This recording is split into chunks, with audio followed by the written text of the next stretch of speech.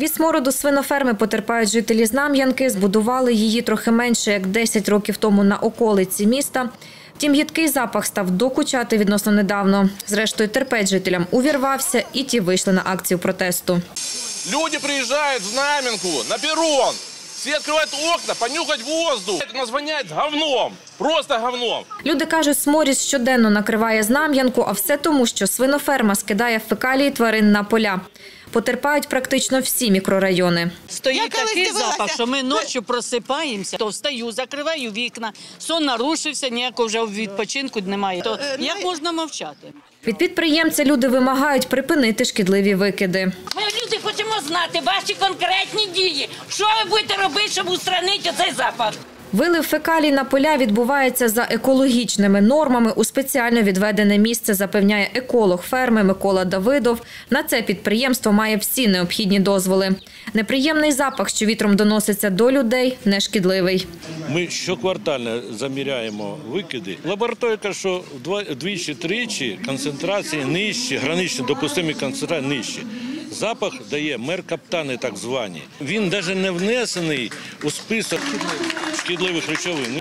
Сморід негативно впливає на здоров'я, заперечують знам'янчани, особливо на літніх людей.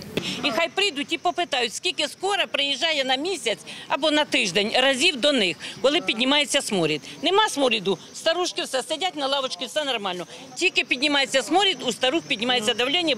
У яких умовах працюють на підприємстві, ознайомили журналістів, переконують, дотримуються такої стерильності, що навіть свиней знімальній групі демонструють через скло. Каждый корпус имеет свое подполье, где весь навоз за период содержания, это от 78 дней до 120 дней, он собирается.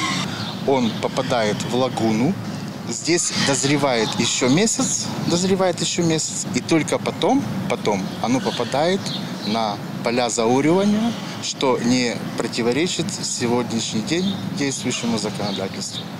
Сморід збільшився через спеку, пояснюють на підприємстві. Аби його мінімізувати, обіцяють додавати більше хімікатів для знезараження відходів. Втім, ефект люди відчують лише за місяць.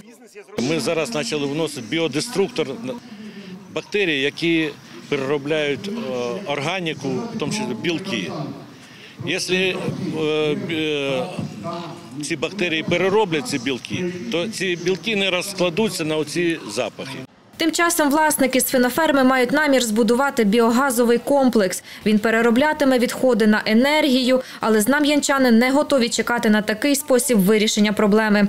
Люди кажуть, якщо за місяць сморід не зникне, перекриють дорогу і заблокують роботу підприємства. Олена Данилишин, Юлія Бабак, Артур Періханян, телевізійні новини СІБІН.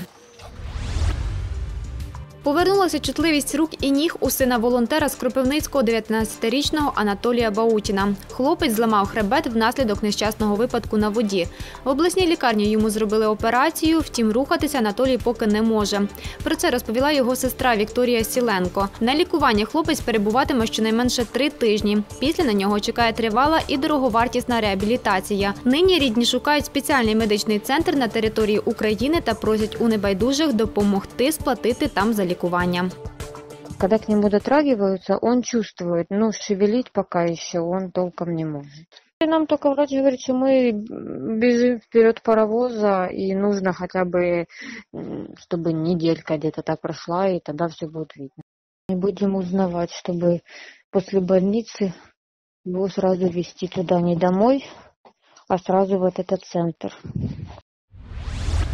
Аби уникнути трагічних наслідків, рятувальники Кіровоградщини вкотре нагадують жителям про правила поведінки на водоймах. Щотижня проводять роз'яснювальні рейди у місцях відпочинку по всій області. У Кропивницькому на Інгулі влаштували практичне заняття, як рятувати потопельника і надавати першу домедичну допомогу. Відкриваємо ротову порожнину, перевіряємо ротову порожнину. Чи не мати сторонніх предметів. З початку року на водоймах нашої області потонуло вже 36 осіб. З них четверо дітей. Це на 6% більше у порівняно з минулим роком. Шведський стіл і дві-три страви на вибір. Такі сніданки і обіди мають намір запропонувати школярам Кіровоградщини вже з нового навчального року в рамках проекту Сучасна шкільна їдальня. Протестують його у 48 школах області з 320. На переоснащення їдалень виділили 11,5 мільйонів гривень.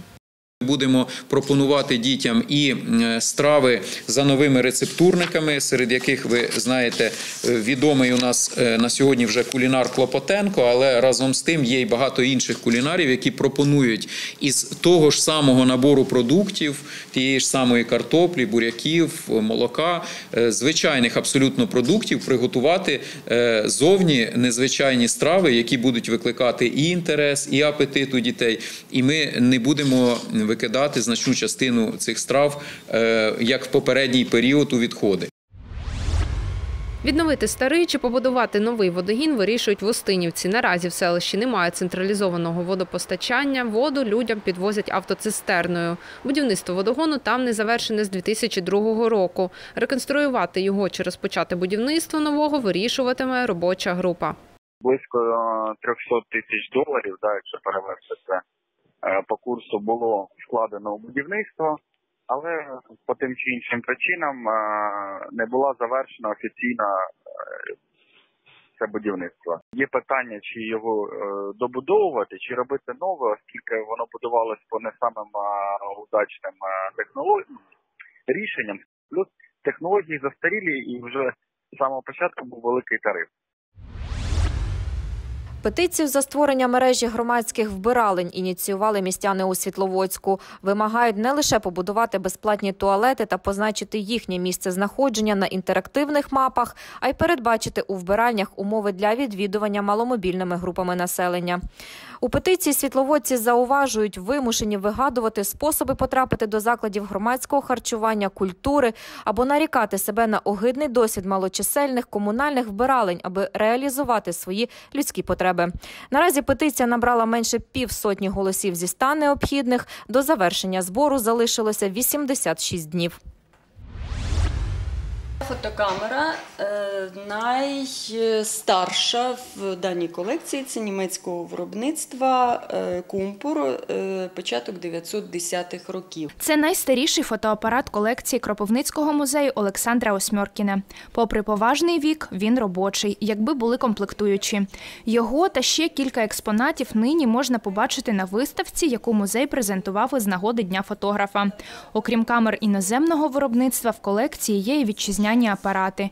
Фотокамери ФЕД, Арсенал, Київ, Салют, Зоркий, Зеніт та інші. Хто не знає своєї історії, не має майбутнього. І саме цією е, виставкою ми б хотіли е, розповісти і е, нагадати професіоналам, фотографам, е, як вони ще працювали з плівкою і здруковували е, фотознімки в темних е, фотолабораторіях, і, звичайно, розказати молоді е, е, про історію фотографії. Цьому стереоскопу понад півтора століття. Експонат ще наприкінці 90-х років передала жителька Кропивницького у музею Смьоркіна.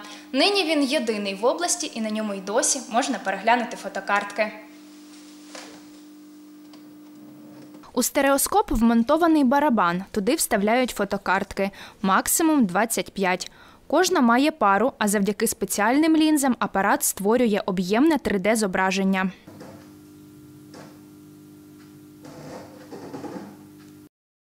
Адміністрація музею планує створити ще й практичну фотолабораторію. Охочі зможуть пофотографувати на плівку, а потім власноруч проявити знімки.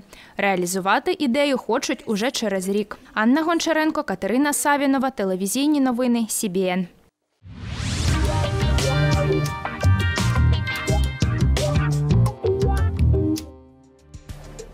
За даними синоптиків, у вівторок, 14 липня, переважатиме хмарна погода. Вночі помірний, вдень невеликий дощ та гроза. Вітер північно-західного напрямку зі швидкістю 7-12 метрів на секунду. По області вдень температура повітря становитиме від 18 до 21 градусів тепла. Вночі 12-17 градусів із позначкою плюс. У місті Кропивницький вдень повітря прогріється від 20 до 22 градусів тепла. Вночі температура повітря коливатиметься від 12 до 14 градусів вище нуля. Радіаційний фон по місту складатиме 14 мікрорентген на годину.